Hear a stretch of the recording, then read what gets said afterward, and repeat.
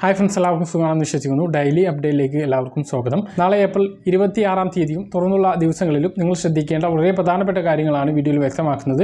വീഡിയോയിലെ കിടക്കുന്നതിന് മുമ്പ് ആദ്യമായിട്ട് ചാനൽ കാണുന്ന ആളുകൾ ചാനൽ സബ്സ്ക്രൈബ് ചെയ്യുക ബെലൈക്കൻ എനേബിൾ ചെയ്ത് വെക്കുക. കൂടുതൽ ആളുകളിലേക്ക് ഇൻഫർമേഷൻ എത്താൻ വേണ്ടി തീർച്ചയായിട്ടും നിങ്ങളൊന്ന് ലൈക്ക് ചെയ്യുക. വീഡിയോയുടെ വിശദമായ വിവരങ്ങളിലേക്ക് വരാം. ആദ്യത്തെ അറിയിപ്പ് പറയാനുള്ളത് ഇനി കേവലം ഒരു ആഴ്ച മാത്രമാണ് തിങ്കളാഴ്ച കഴിഞ്ഞു. ഇനി ബാക്കിയുള്ള അഞ്ച് ദിവസം മാത്രമാണ് പെൻഷൻ വിധവാ പെൻഷൻ വാങ്ങുന്ന ആളുകൾക്കും അവിവാദ പെൻഷൻ വാങ്ങുന്ന ആളുകൾക്കും മെയ് മാസം മുതൽ പെൻഷൻ തുടർന്നും ലഭിക്കാൻ വേണ്ടിയിട്ട് ലൈഫ് സർട്ടിഫിക്കറ്റ് ഹാജരാക്കേണ്ട അവസാന തീയതി ഉള്ളത്. അതിനു മുമ്പ് ഈ കാര്യം ചെയ്യണം. അതായത് അറുപത് വയസ്സ് തികയാത്ത വിധവാ പെൻഷൻ വാങ്ങുന്ന ആളുകളും അൻപത് വയസ്സ് കഴിഞ്ഞ അവിവാഹിത പെൻഷൻ വാങ്ങുന്ന ആളുകളും വിവാഹിതയല്ല അല്ലെങ്കിൽ പുനർവാഹിതയല്ല എന്ന് തെളിയിക്കുന്ന വില്ലേജ് ഓഫീസർ നൽകുന്ന സർട്ടിഫിക്കറ്റ് അതാത് തദ്ദേശ സ്വയംഭരണ സ്ഥാപനങ്ങളിൽ ഹാജരാക്കണം. ഇത്തരത്തിലുള്ള സർട്ടിഫിക്കറ്റുകൾ സേവനയുടെ വെബ്സൈറ്റിൽ മെയ് മാസം ഇരുപതിന് മുമ്പ് അപ്ഡേറ്റ് ചെയ്താൽ മാത്രമേ മെയ് മാസം മുതലുള്ള പെൻഷൻ തുക ലഭിക്കുകയുള്ളൂ എന്ന് നമ്മൾ പല പ്രാവശ്യം പറഞ്ഞിട്ടുണ്ട്. ഇനി കേവലം അഞ്ച് ദിവസമാണുള്ളത്. ശനിയാഴ്ചക്ക് മുമ്പ് ഈ കാര്യം ചെയ്യണം. ജനുവരിയിലൊക്കെ ഈ കാര്യം ചെയ്ത ആളുകൾക്ക് ഇപ്പോൾ ചെയ്യേണ്ടി വരില്ല എന്നുള്ള കാര്യം ഓർമ്മിപ്പിക്കുന്നു. നാളെയും തുടർന്നുള്ള ദിവസങ്ങളിൽ നിങ്ങൾ ശ്രദ്ധിക്കേണ്ട മറ്റ് അറിയിപ്പുകൾ നോക്കാം. ഇനി സംസ്ഥാനത്തെ കോവിഡ് സാഹചര്യം വിലയിരുത്താൻ ആരോഗ്യമന്ത്രി വീണ ജോർജിന്റെ നേതൃത്വത്തിൽ ഉന്നതതല യോഗം ചേരും. മറ്റു സംസ്ഥാനങ്ങളിൽ കോവിഡ് കണക്ക് ഉയരുമ്പോൾ കേരളത്തിൽ മതിയായ മുന്നൊരുക്കങ്ങൾ നടത്തുന്നില്ല എന്ന വിമർശനം ഉയരുന്ന പശ്ചാത്തലത്തിലാണ് യോഗം. സംസ്ഥാനത്ത് മാസ്ക് ഉൾപ്പെടെയുള്ള നിയന്ത്രണങ്ങൾ കൊണ്ടുവന്നേക്കും. ദിവസേനയുള്ള കോവിഡ് കണക്ക് പ്രസിദ്ധീകരിക്കുന്നത് കേരളം നിർത്തിവെച്ചിരുന്നു. ഇത് തൽക്കാലം പുനഃസ്ഥാപിക്കേണ്ട എന്ന് തന്നെയാണ് സർക്കാരിന്റെ തീരുമാനം. കഴിഞ്ഞ ദിവസം മുന്നൂറിൽ പരം രോഗികളെ മാത്രമാണ് റിപ്പോർട്ട് ചെയ്തിട്ടുള്ളത്. അതേസമയം സംസ്ഥാനത്ത് വൈറൽ പനി പല സ്ഥലങ്ങളിലും പടർന്നു പിടിക്കുന്നുണ്ട്. ഇവരാരും കോവിഡ് ടെസ്റ്റിന് സ്വമേധയാ തയ്യാറാവുന്നില്ല എന്നുള്ളത് കൊണ്ടാണ് കോവിഡ് കണക്ക് ഉയരാത്തത്. കഴിഞ്ഞ ദിവസം പതിനായിരത്തിൽ പരം ടെസ്റ്റുകൾ മാത്രമാണ് നടത്തിയത്. കോവിഡ് നാലാം തരംഗത്തിന്റെ പശ്ചാത്തലത്തിൽ കൂടുതൽ നിയന്ത്രണങ്ങൾ നടപ്പിലാക്കുമെന്ന് കർണാടക വ്യക്തമാക്കി.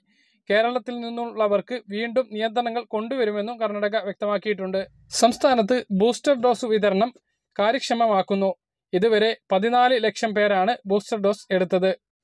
മറ്റൊരു അറിയിപ്പ്. പ്രധാനമന്ത്രി ആയുഷ്മാൻ ഭാരത് മെഡിക്കൽ പരിശോധന ബജറ്റ് വർദ്ധിപ്പിക്കാനൊരുങ്ങി കേന്ദ്ര സർക്കാർ.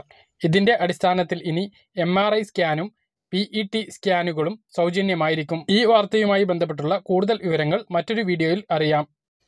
മറ്റൊരു പ്രധാനപ്പെട്ട അറിയിപ്പിലേക്ക് വന്നാൽ ഗുരുതര അപകടങ്ങളിൽ പെടുന്നവരെ രക്ഷിച്ച് ഉടൻ ആശുപത്രിയിൽ എത്തിക്കുന്നവർക്ക് നൽകുന്ന ക്യാഷ് അവാർഡിന് അർഹരെ കണ്ടെത്താൻ സംസ്ഥാന പോലീസ് മേധാവി മാർഗനിർദ്ദേശം പുറപ്പെടുവിച്ചു. അപകടത്തിൽപ്പെടുന്നവരെ ഒരു മണിക്കൂറിനുള്ളിൽ ആശുപത്രിയിൽ എത്തിച്ച് വൈദ്യസഹായം ലഭ്യമാക്കുന്നവർക്കാണ് കേന്ദ്ര സർക്കാർ ഏർപ്പെടുത്തിയിട്ടുള്ള അവാർഡിന് പരിഗണിക്കുന്നത്.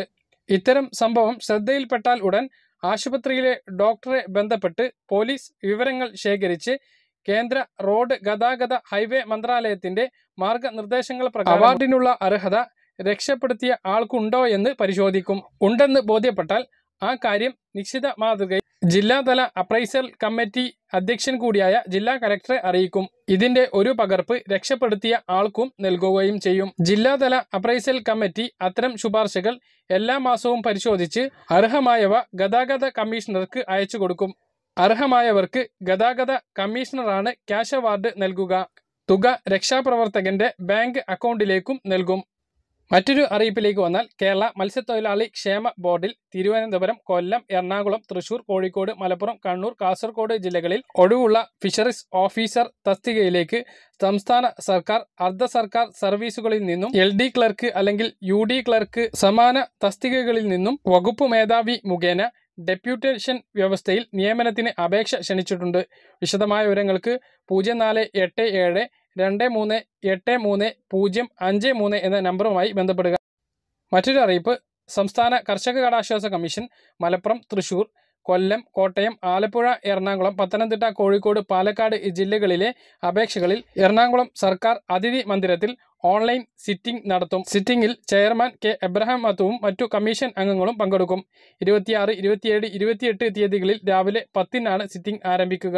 മറ്റൊരു അറിയിപ്പ് യുക്രൈൻ യുദ്ധത്തിന്റെ പശ്ചാത്തലത്തിൽ യുക്രൈനിൽ നിന്നും തിരിച്ചെത്തിയ വിദ്യാർത്ഥികളുമായി സംവദിക്കുന്നതിനും തുടർ പഠനവുമായി ബന്ധപ്പെട്ട കാര്യങ്ങൾ ചർച്ച ചെയ്യുന്നതിനും നോർക്കയുടെ ആഭിമുഖ്യത്തിൽ വിദ്യാർത്ഥികളുടെ യോഗം വിളിക്കുന്നു. ഏപ്രിൽ മുപ്പത് ഉച്ചയ്ക്ക് രണ്ട് മുപ്പത് മുതൽ വൈകുന്നേരം അഞ്ചു മണിവരെ തിരുവനന്തപുരം കവടിയാർ ഗോൾഫ് ലിങ്കിലെ ഉദയ കൺവെൻഷൻ സെന്ററിലാണ് യോഗം. വിദ്യാർത്ഥികൾക്ക് തങ്ങളുടെ പ്രശ്നങ്ങളും അഭിപ്രായങ്ങളും നേരിട്ട് അവതരിപ്പിക്കാനുള്ള വേദി എന്ന നിലയിൽ സംഘടിപ്പിക്കുന്ന യോഗത്തിൽ Norka principal secretary Suman മില്ല vice chairman P Sreeramakrishnan chief executive officer Harikrishnan Namboothiri തുടങ്ങിയവർ സംബന്ധിക്കും. താൽപ്പര്യമുള്ള വിദ്യാർത്ഥികൾ Ukraine registration slash Norka roots dot O R G എന്ന ലിങ്കിൽ ക്ലിക്ക് ചെയ്ത് രജിസ്റ്റർ ചെയ്യണമെന്ന് നോർക്ക റൂട്ട് സിഇഒ അറിയിച്ചിട്ടുണ്ട്.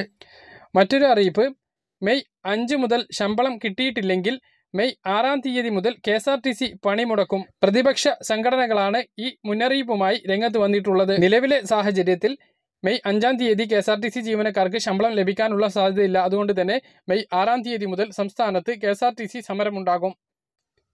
ഏപ്രിൽ മാസത്തെ റേഷൻ വിഹിതങ്ങളുടെ വിതരണം അഞ്ച് ദിവസം കൊണ്ട് അവസാനിക്കും. ഓരോ റേഷൻ കാർഡിനും അനുവദിച്ചിട്ടുള്ള ഭക്ഷ്യവിഹിതങ്ങൾ ഇനിയും വാങ്ങാത്ത ആളുകൾ ഉടൻ പോയി വാങ്ങണമെന്ന് പ്രത്യേകം ഓർമ്മിപ്പിക്കുന്നു. നീല വെള്ള റേഷൻ കാർഡിനുള്ള സ്പെഷ്യൽ അരി സ്റ്റോക്കിനനുസരിച്ചാണ് വിതരണം ചെയ്യുന്നത്.